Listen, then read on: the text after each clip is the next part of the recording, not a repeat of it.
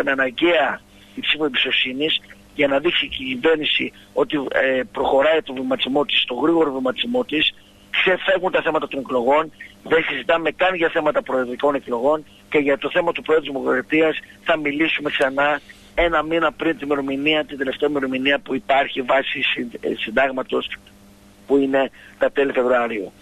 Άρα λοιπόν αυτό έγινε ξεκάθαρα για να, για να προχωρήσει η κυβέρνηση το, το έργο της, για να προχωρήσει η κυβέρνηση γρήγορα μπροστά. Σας λέει τώρα εδώ ο κύριος Τσίπρας ότι την ψήφο εμπιστοσύνης δεν τη δίνουν οι κυβερνήσεις στον εαυτό τους. Την ψήφο εμπιστοσύνης τη δίνει ο λαός. Έτσι λέει ο κύριος, Ψή, ο, ο, ο κύριος Τσίπρας. Πριν, ο λαός πριν από δύο χρόνια ακριβώς έδωσε ψήφο εμπιστοσύνης. Και πρέπει να γνωρίζει ο κύριος Τσίπρας ότι οι εκλογές οι δημοσιοποιημένες είναι κάθε τέσσερα χρόνια. Δεν μπορούμε κάθε έξι μήνες και κάθε τρεις μήνες να ζητάμε εκλογές ή θα έλεγα και κάθε μήνα. Πρέπει να το πάρουμε απόφαση πρέπει να γίνει ένα έργο της κυβέρνησης και αυτή είμαστε στο μέσο της θητείας κυβέρνησης και μάλιστα σας λέω ιστορικά να το δείτε ότι πάντα οι κυβερνήσεις στο μέσο της θητείας τους ήταν στη πιο δύσκολη φάση. Αν μη τι άλλο αυτή η κυβέρνηση η οποία δυστυχώς έχει πάρει τις σκληρότερες αποφάσεις που παρθήκανε ποτέ. Αλλά αυτές παρθήκανε για να καταφέρει η Ελλάδα μας να μείνει στην Ευρώπη, στο ευρώ και ένα δεύτερο κομμάτι, να μην χρεοκοπήσει. Γιατί εδώ δεν μιλάμε για ε, χρεοκοπία τύπου Αργεντινής που κάποιοι ενερευόντουσαν. Εδώ μιλάμε για μια Ελλάδα που έχει ευθύνη απέναντι σε όλες τις κυβερνήσεις, σε όλες τις χώρες, σε όλους τους πολίτες Πιστεύετε της Ευρωπαϊκής Ένωσης. Πιστεύετε σας, ότι... θυμίζω, ναι. σας θυμίζω ότι η Φιλανδία για να μαζανίσουν τα λεφτά τότε, πριν δυόμιση χρόνια, ζητούσαν να δεσμεύσουν 6.000 ελληνικές. Ε, εντάξει, τραγωδίες τότε, εντάξει. Μην πάμε σε στραγγί. Μην ξεχνάμε όμως όλα αυτά. Θέλω να ρωτήσω το εξής. Γιατί δεν είναι απλά τα πράγματα, δηλώνουμε μονομερός ότι δεν θα πληρώνουμε το χρέος.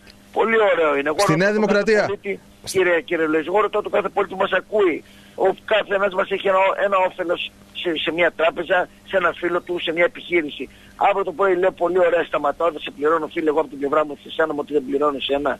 Έτσι λειτουργεί η κοινωνία. Έτσι λειτουργούν οργανωμένες κοινωνίες. Μονομερό σταματώ να πληρώνω τα, τα χρέη μου. Αν είναι δυνατόν, μόνο που το ακούμε αυτό, το Εντάξει, τώρα όμως έχει αλλάξει λίγο έτσι ρότα και ο ΣΥΡΙΖΑ. Έχει αλλάξει βέβαια, έχει βάλει, ε, έχει βάλει σταυρό ορθοδοξίας και κουστούμι ευρωπαϊκό και κινείται σε διαφορετικά πλαίσια, σε διαφορετικές νοοτροπίες και λογικές. Εντάξει, άλλα λέμε μέσα, άλλα λέμε έξω. Πιστεύετε ότι. τον κόσμο. Πιστεύετε εσείς εκεί στη Νέα Δημοκρατία ότι θα μπορέσετε να ανακάμψετε σε περίπτωση που γίνουν εκλογές στο τέλος της θητείας; Κύριε Λοίζο, αυτή τη ο Σαμαράς και η κυβέρνηση φωνάζει και λέει θέλουμε να έχουμε πλεόνασμα, να πατάμε στα πόδια μας, να σταματήσουμε να παίρνουμε δανεικά.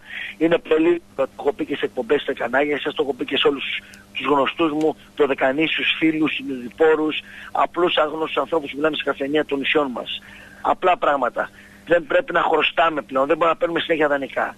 Να έχουμε το πλεόνασμα, να είμαστε σίγουροι ότι έχουμε ένα πλεόνασμα και από εκεί πέρα μετά να αρχίσουν άμεσα να λύνονται οι αδικίες που δημιουργήθηκαν τα τελευταία δύο χρόνια. Τις γνωρίζουμε και προς τους ταξιούχους, τους ανθρώπους που παλεύανε τόσα χρόνια να πάρουν τη συνταξή τους, γιατί στην ίδια θέση είμαστε και εμείς σε 20, 25, 30 χρόνια και σε 10 χρόνια οι λίγο μεγαλύτεροι μας, τους ταξιούχους, τους αγρότες, τους ανθρώπους τους ένστολους, οι οποίοι παλεύουν δηλαδή... στα σύνορά μας ή στην αστυνομία καθημερινά. Επειδή πιέζει ο χρόνος. Άρα λοιπόν από ό,τι καταλαβαίνουμε σε περίπτωση που ξεπεράσετε τον κάβο του Προέδρου της Δημοκρατίας και κλέξει Πρόεδρο αυτή η κυβέρνηση, τα υπόλοιπα δύο χρόνια θα είναι δύο χρόνια αποκατάστασης των αδικιών. Δηλαδή, έτσι, αυτό μας λέτε τώρα. Το είπαμε, το λέμε και ήδη τώρα ναι. στο προπολογισμού τώρα που θα τεθεί σε λίγες μέρες θα έχει μέσα ήδη κάποιες από αυτές τις διορθώσεις. Γιατί αν δεν, αν δεν πετύχετε όμως, κύριε Παπά, θα νομίζω, ότι, νομίζω ότι θα καταλήξετε σαν το Πασόκ, στο 3% στο τέλος, έτσι. Κύριε Λοίζο, αυτό το κρίνει ο κόσμος, αλλά να ξέρετε ένα πράγμα, θα πετύχουμε γιατί αυτός είναι ο στόχος μας